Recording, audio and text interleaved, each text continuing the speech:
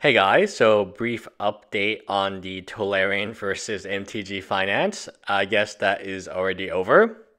By the time I posted my video complimenting Tolarian Community College on his decision to support the players with cheaper cards, especially in standard, he went back and said, not all MTG Finance is bad.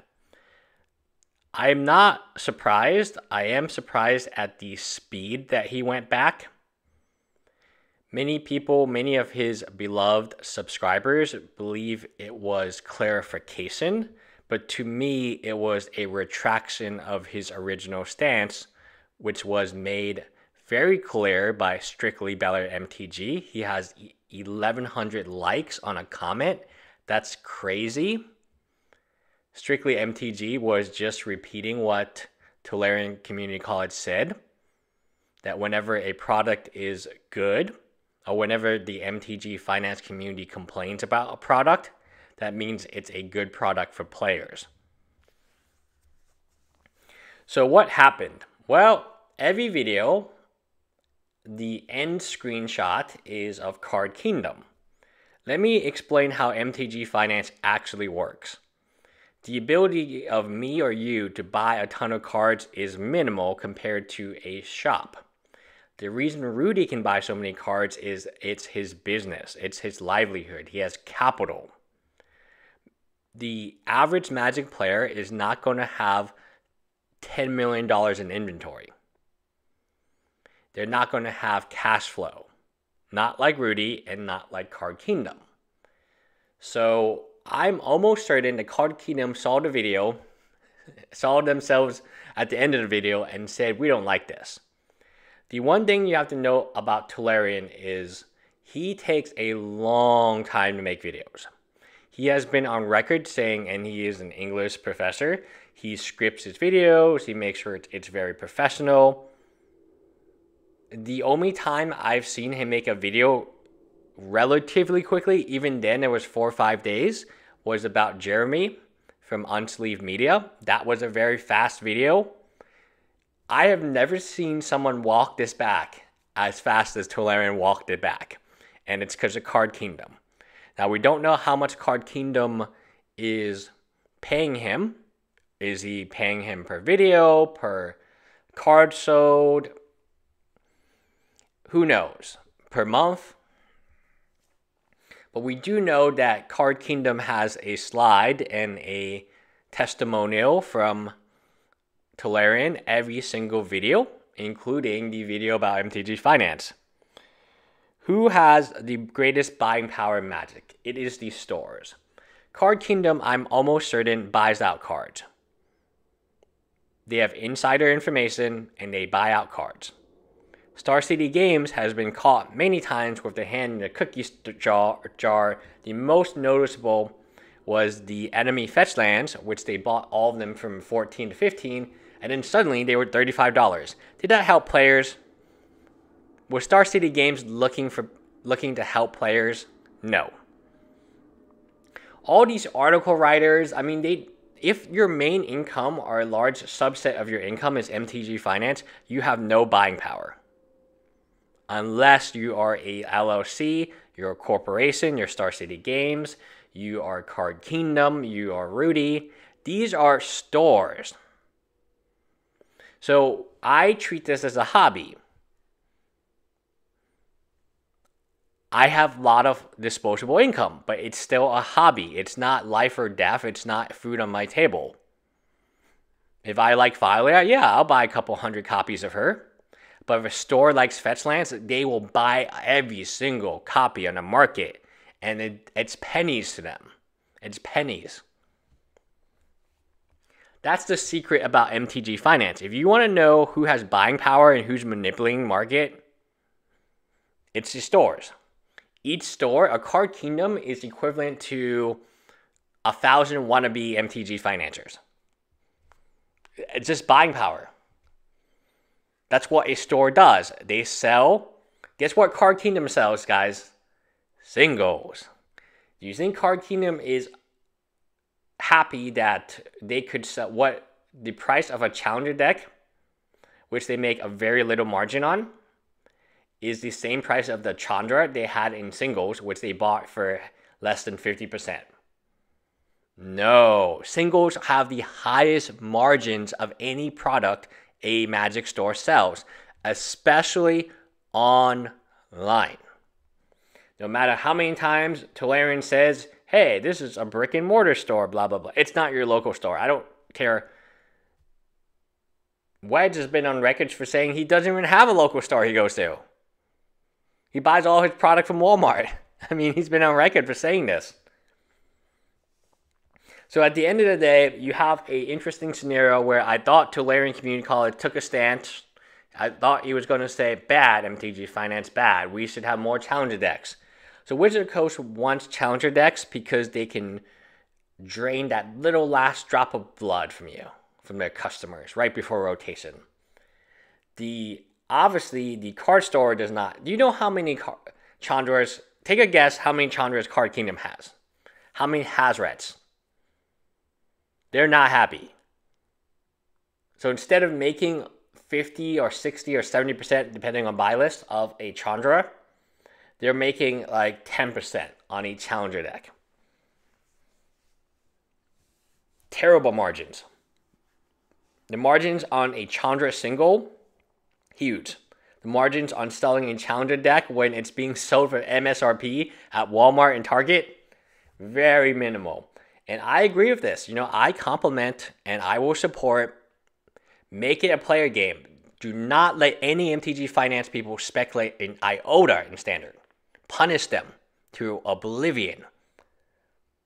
It's just greed. If they want to speculate, fine. You can speculate on reserve list cards. But everything else, especially modern, reprint to oblivion. From the beginning of this channel, I have been the biggest supporter of reprints. Many of you ask why is that the case? I think as long as it's very clear, and I couldn't be more clear to me now, standard is not something you can make money from.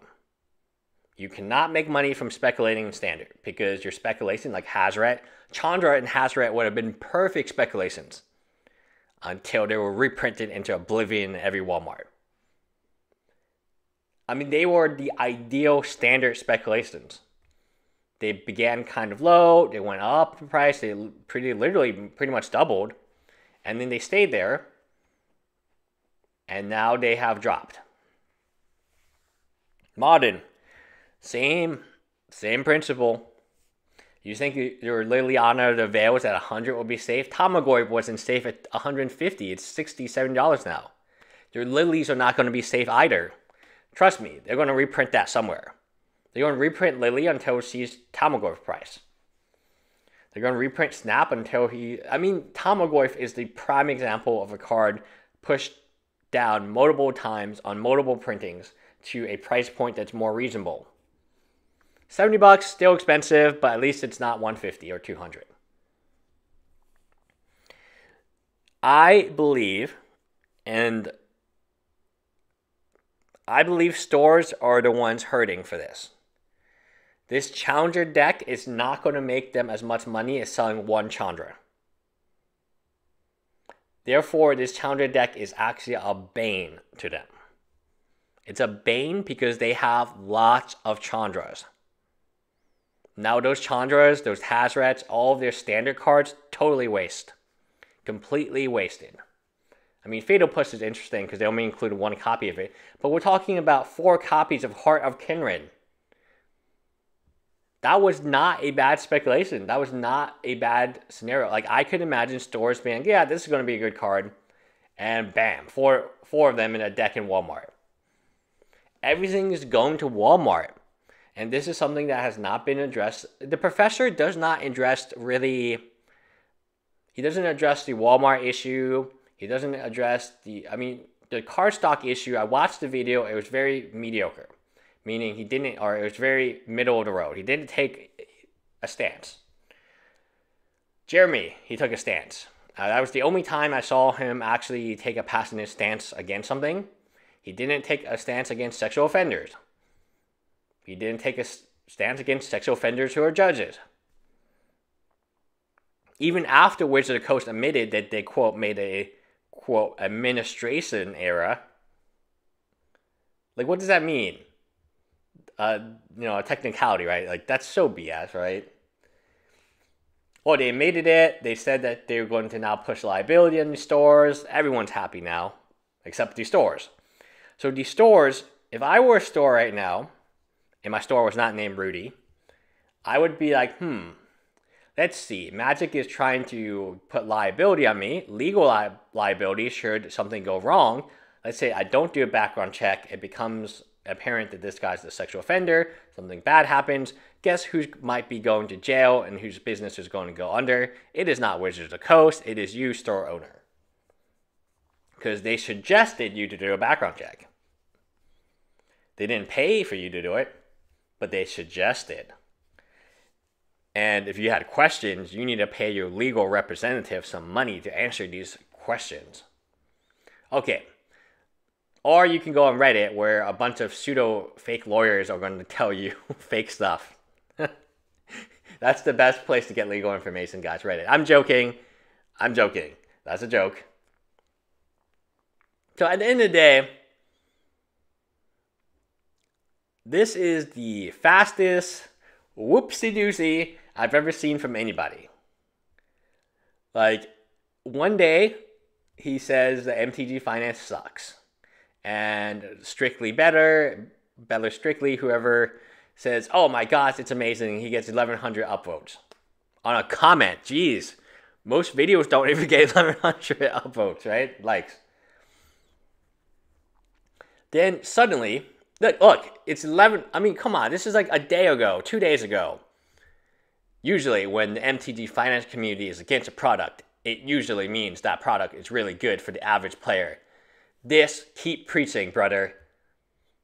And then the next day he says, just kidding, Card Kingdom is amazing. Here's some more advertisements. I mean, come on, guys. I I get it. He's he's a college professor. He has this kind of uh, look and feel about him, and not everyone's going to like me because they don't like they don't like who I am. They don't like my personality. They don't like the way I talk. And honestly, I'll, I'll be honest about this. They, you don't like me, fine. But this is ridiculous. Like to defend and say he's clarifying. No, this guy had a script. He read off the script It was not what the Card Kingdom wanted. And the Card Kingdom said, Whoa, dude, what are you doing? Do you want us to take your money away? It's a business for Brian. It is 100% a business. He does not take a hard stance unless it actually affects his business in a positive way. So I am not, I'm disappointed, but I'm not at all surprised this is what happens. And I would love for him to refute me and say, hey, Card Kingdom didn't pay me for this video that I'm clearly sponsored. I mean, look at this. Look at this. It's on every single video. What does Card Kingdom sell? Hmm, I would assume 99% of their sales come from singles, both in volume and in price. Wouldn't you say that's true? I would say it's true. And people who think Rudy is MTG Finance, they don't get it. Like, they just don't get it. He's a store. He's a blanking store. He's like a card kingdom. He is like, you know, he moves more product than a quote MTG finance article writer. The volume, it's about volume. If you do it at high enough volume, you're considered a business.